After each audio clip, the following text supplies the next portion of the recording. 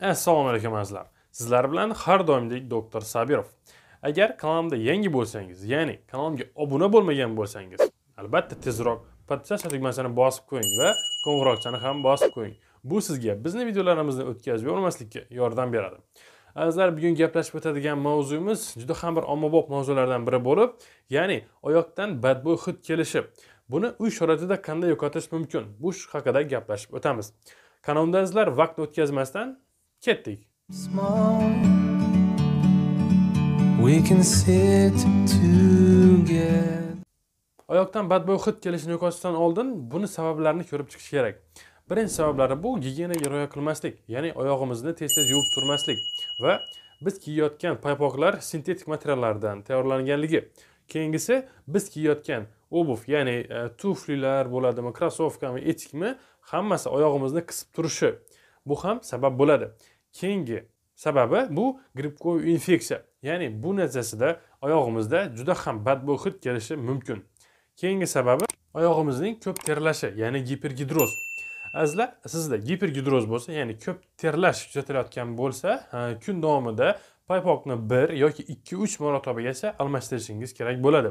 Agar shu ko'p terlash ketmayotgan bo'lsa buning uchun siz bir litr suvga to'rt osh qoshiq tuzni aralashtirib uni oyog'imizga vannacha qilamiz. Buni o'n kun davomida qilsak biz ko'p terlashdan ya'ni oyoqning ko'p terlashidan xalos bo'lamiz. Azizlar endi shu badbo'y hiddan qanday qutulish mumkin uy sharoitida shu haqida gaplashib o'tamiz. Birinchisi bu birinchi metodimiz ya'ni shalfi yoki ramashkani qaynatib olamiz. Bu qaynagan rastvorga suvga oyog'imizni o'n besh yigirma daqiqa davomida parit qilishimiz mumkin yoki vannischa qilishimiz mumkin. Buni ham o'n o'n besh kun davomida e, yotishdan oldin qilinadi va vannischa qilib bo'lgandan keyin oyoqni e, quruq mato bilan artiladi. Yuvish kerak emas. Keyingi metodimiz bu. Spirt yoki uksus bilan ertalab yoki kechqurun e, shu bir material olinadi yoki doka olinib e, spirtga botiriladi yoki uksusga botirilib oyog'imiz artiladi. Albatta e, oyog'imizda e, kesilgan joylar bo'lmasligi kerak. Keyingi metodimiz bu zavarka. Ha yaxshi eshitdingiz zavarka. Zavarka yordamida ham biz badbo'y hiddan xalos bo'lishimiz mumkin. Buning uchun bir litr suvga uch choy qoshiq zavarkani solib qaynatamiz va uni qaynatgandan keyin ikki litr sovuq suvda разбавить qilamiz. Ya'ni bir litr qaynagan suvga ikki litr sovuq suv aralashtirib oyog'imizni botirib o'tiramiz.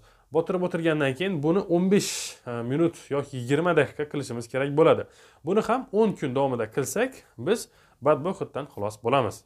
Azizlar bugungi ma'lumotlarimiz sizlarga foydali bo'ldi degan umiddamiz. Agar foydali bo'lgan bo'lsa mana shu yerga mana shu video tagiga layk bosish va qip qizil bo'lib yonib turgan podpisatsiya tugmasini agar podpisatsiya bo'lmagan bo'lsangiz podpisatsiya bo'lib qo'ying va kommentariyaga o'z fikringizni yozib qoldiring.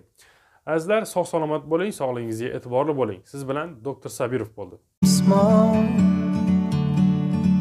We can sit together.